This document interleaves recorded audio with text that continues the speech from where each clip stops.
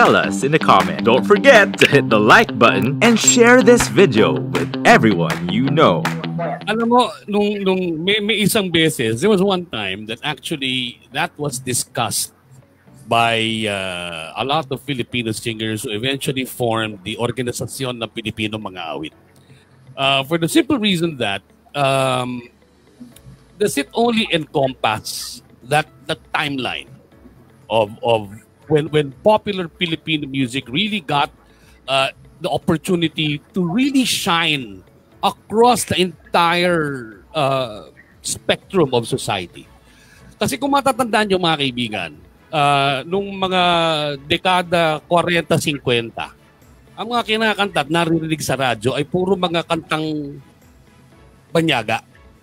At kung may mga kantang dikha ng mga Pilipino man na inyong maririnig, ay ito ay translations or mga adaptation na kinanta, kinanta ng mga Pilipino, kinanta ng Pilipino, pero ito po ay original na mga gawa, original na mga komposisyon na hawig o galing sa mga kantang galing sa Amerika na i-translate sa wikang Pilipino. So hindi pa rin bubusang original, hindi ba? Palaki ng impluensya ng mga Amerikano sa atin.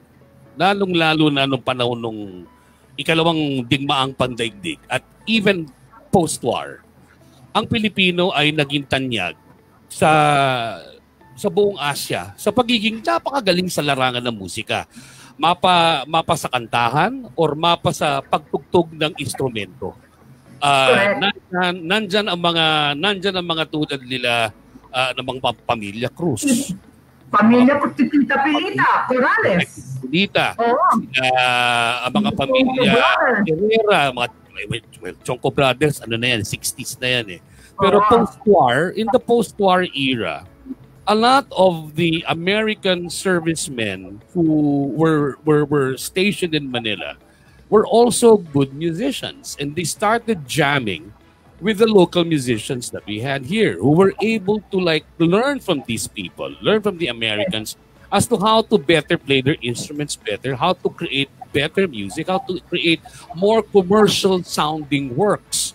So naging, naging oh, na, naitaas yung antas tumaas yung standard ng ng quality of music. That's why when you have uh, your, your our grandparents, our great grandparents constantly talking about how they would hear of stories of musicians in Japan, in Hong Kong, in the major Asian capitals in the world, which up to now, I mean, up, up until the time of COVID, were, were, were basically full of, or, or there were there were a lot of Filipino musicians who were really popular, who were patronized uh, by by by these localities.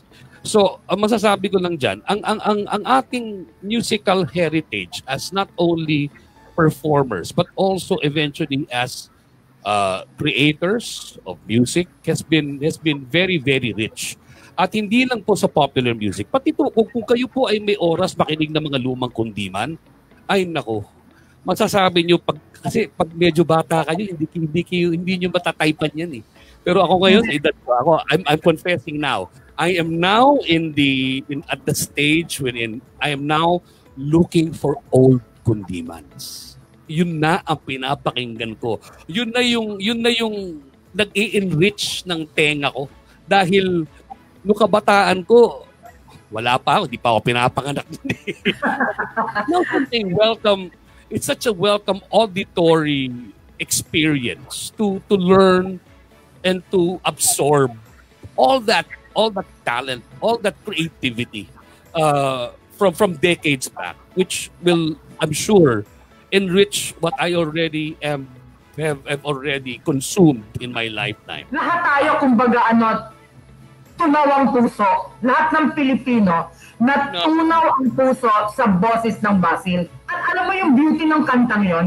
Makababae man o lalaki ang makadinig, pag nahugot mo, relate, relate agad, matutubuan mo relate, relate. Na relate. talagang ma-express.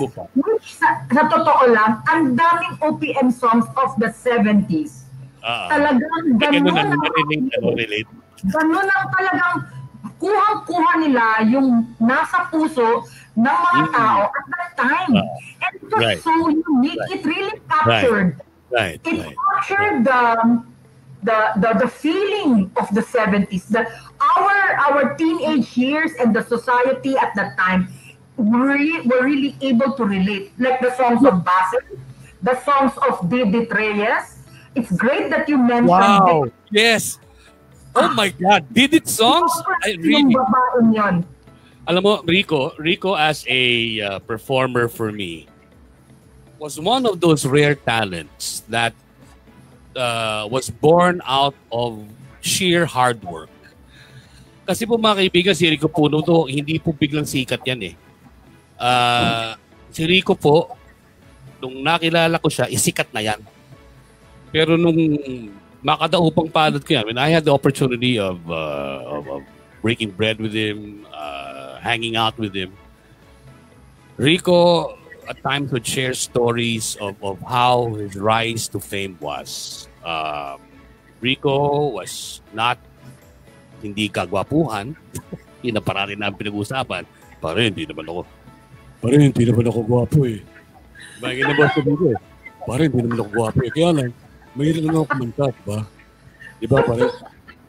So, Rico, Rico was one of the nicest persons. Uh, the mere mention of Luneta, di ba? And and the and the phrase na kahit walang pera, that Wow. really resonated with your mass base. with every Pinoy Di ba? The, simplicity, di ba? The simplicity of it na na kaya kong maging masaya hawak ko, kasama ko ang aking minamahal sa buhay, kung wala- kahit wala kaming pera, basta kasama ko minamahal ko sa buhay, maganda ang mundo.